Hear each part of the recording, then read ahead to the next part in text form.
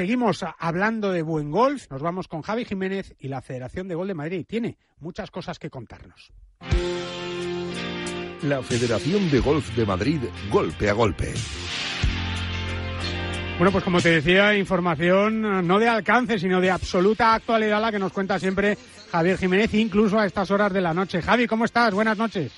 ¿Qué tal, Guille? Muy buenas noches. Efectivamente, aquí estamos a, la última hora, ¿eh? Sí, sí, sí. Tenemos buenas y malas noticias, ¿no? Bueno, tenemos un poquito de todo. Como siempre, como siempre. Partido los sentimientos y las sensaciones. es verdad. Bueno, vámonos a Asia, porque ahí no nos llegan buenas. No, ahí nos hemos dejado, la verdad, todas las esperanzas. Eh, tanto Jacobo Pastor como Antonio Hortal echaron el resto, pero al final no pudieron sobrevivir a ese a esa criba ¿no? de, la segunda jornada, ese corte que les dejaba fuera a Jacobo por solo un golpe y a Antonio Hurtado un poquito más alejado y bueno, pues daba al traste con las esperanzas de, que pudieran acompañar a Carlos Pillem y a Javi Colombo la próxima temporada. En fin, habrá que, seguir intentándolo. La verdad es que el circuito asiático se ha convertido en un excelente escaparate para los jugadores españoles y no solo españoles. El otro día viendo la, clasificación de la escuela, pues eh, apenas había un par o tres de asiáticos en, en, una, en una veintena de jugadores de todo el mundo, Javi. Bueno, claro, es que ten en cuenta que es un circuito que, que tiene pruebas muy importantes, que, que tiene un montante de premios muy interesante y que además da eh, acceso bastante fácil, entre comillas, pero bastante fácil al circuito europeo y al americano, con lo cual, bueno, pues es un sitio muy goloso para estar. Sí que es verdad que la vida allí no es fácil, pues eh, todos eh, conocemos lo que es Asia y a veces se hace complicado, sobre todo cuando uno no tiene eh, un nombre todavía en el golf y sus patrocinadores no, no le acompañan a los hoteles importantes, pero sí que es verdad que pues Caparate es fundamental y que de ahí se puede dar el salto más o menos rápidamente a los circuitos principales. Bueno, eh, nos llegan buenas noticias, entre otras cosas, porque desde Estados Unidos en el North Central Open Gonzalo está jugando, es la tercera prueba y da la sensación de que a la tercera va la vencida y de que sí puede pasar el corte, Javi, si no se tuercen mucho las cosas.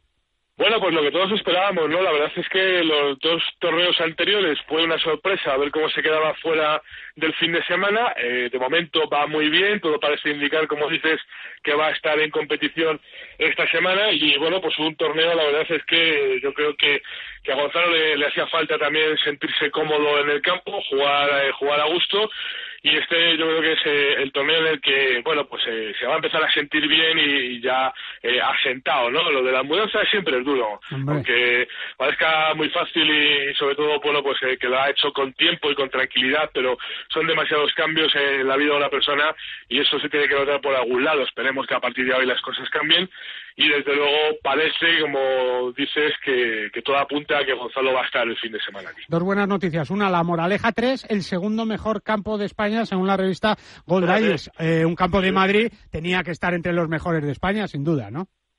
Hombre, es, lo deseable, ¿no? La verdad es que hay muy buenos campos en España.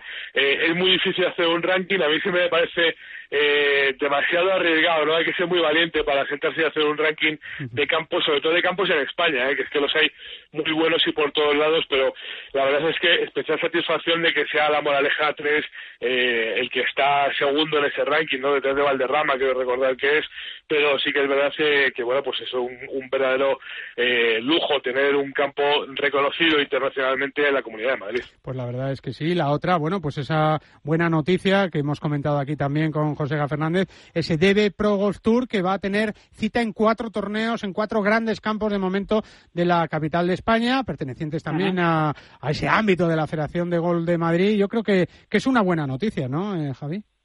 Sí, sí, fíjate, es un torneo que no, un circuito que nos pilla a todos un poco, mm, si quieres, por sorpresa, ¿no? desde luego pero desde luego eh, grandes alegrías las que estamos teniendo esta semana en ese sentido. Ya nos sorprendieron con aquel torneo de, de Soto Grande y ahora con este este un circuito pues que nace desde luego con muy buenas perspectivas con cuatro pruebas de momento la moraleja del fin la Real Sociedad Cípica y, y, el RACE, cuatro campazos desde luego para darse a conocer, no han podido elegir mejores escenarios. Pruebas para 90 jugadores, todos ellos eh, esperan que sean los, los eh, profesionales de, más nivel de España. Y además una cosa que me parece muy interesante es que van a dar acogida también a jugadores amateurs de primera categoría, aquellos que tienen handicap inferior a cuatro y medio. Y eso pues es una buena una buena alternativa porque sin duda de esos jugadores saldrán los profesionales de mañana, así es que hay que darles ya, ya opciones. Bueno, pues buenas noticias que os contamos a través de la Federación de Gol de Madrid. Esperemos que también mañana, Javi, en nuestra serie oro a partir de las 12 y 5 también podamos contar más, que seguro que sí. Ya te buscas tú la vida, ¿te parece? Sí, señor, ya me dejo mañana tengo muchas cositas para contarte.